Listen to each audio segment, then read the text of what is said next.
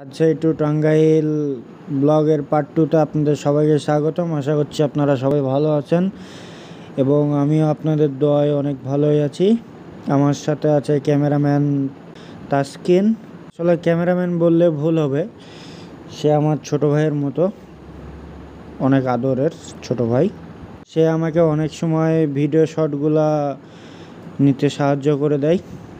সে আমাকে অনেক হেল্প করে ভিডিও শটগুলো নেওয়ার সময়।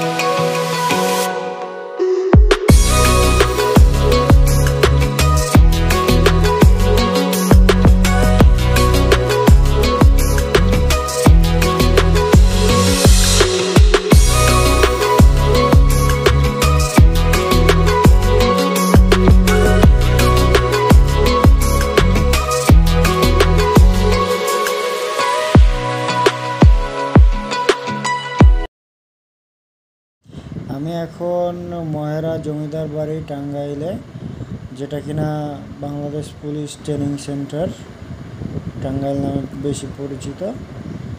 মহেরা রাজবাড়িতে প্রবেশ করার জন্য প্রথমত টিকিট কাটা লাগবে। টিকিটের মূল্য হচ্ছে আশি টাকা পার হেড। প্রবেশের পর প্রথম গেটে এরকম একটা সিংহ বসে থাকা একটা গেট দেখতে পাবেন। এর পাশে আরেকটা আছে, যেটাই কিনা সিংহ দাঁড়, দাঁড়ানো আছে।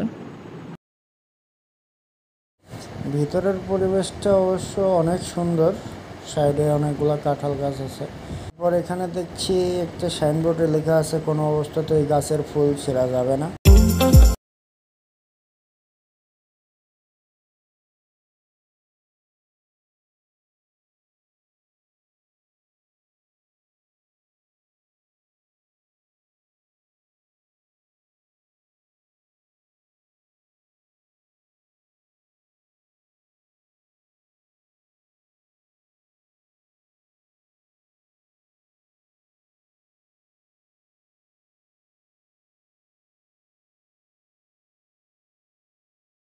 সামনে একটা মিউজিয়াম আছে, তো মিউজিয়ামের পার্টটা আলাদা করব।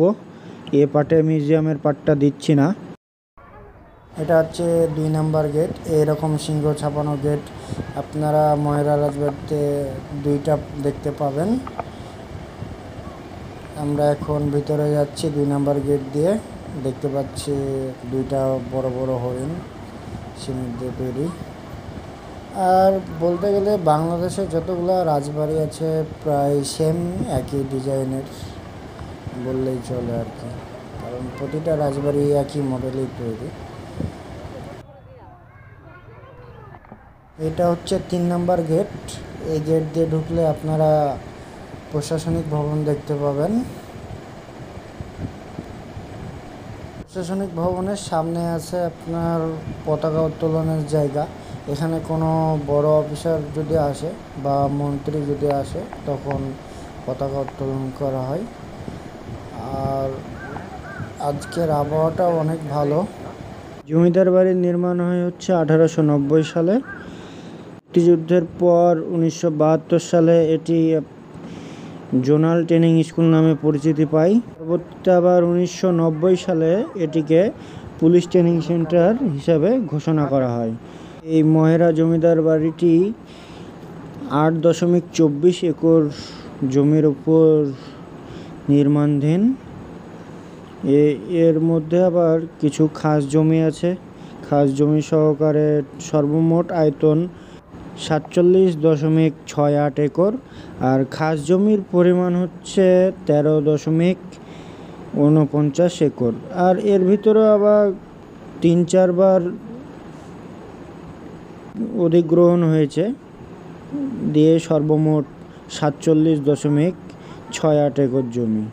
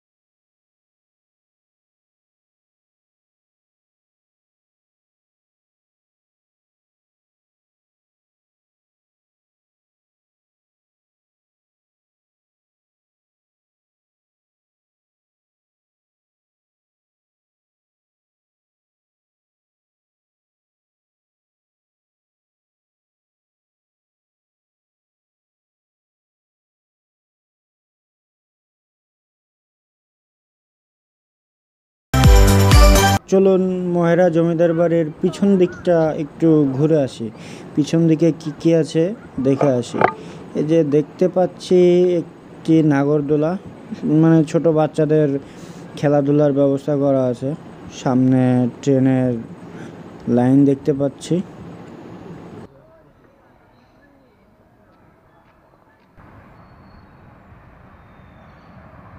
বাচ্চাদের জন্য, খেলাধুলার জন্য ট্রেনের ব্যবস্থা করা হয়েছে। আর এখানে একটা সাইনবোর্ডে লেখা আছে, রাগ করো না। হয়তোবা এখানে কোনো কাপল আসলে রাগ করে, এর জন্যে ওই সাইনবোর্ডটা দেওয়া আছে। এখানে পুকুরের মিডিলে একটি বসার জন্য ছাউনি রাখা, করা হয়েছে। তো মিডিলে একটা চেয়ার আছে, ভাবলাম একটু রাজার ভাব নিয়ে ছবি তুলবো, কিন্তু চাচা বসে।